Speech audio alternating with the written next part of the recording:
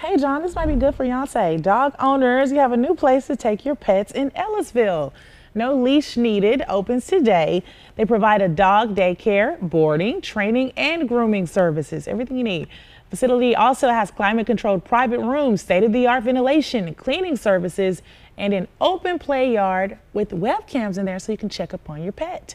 The new location is on Manchester Road in Ellisville. It's open from 7 to 7 weekdays and four, uh, 9 to 4 rather on the weekends.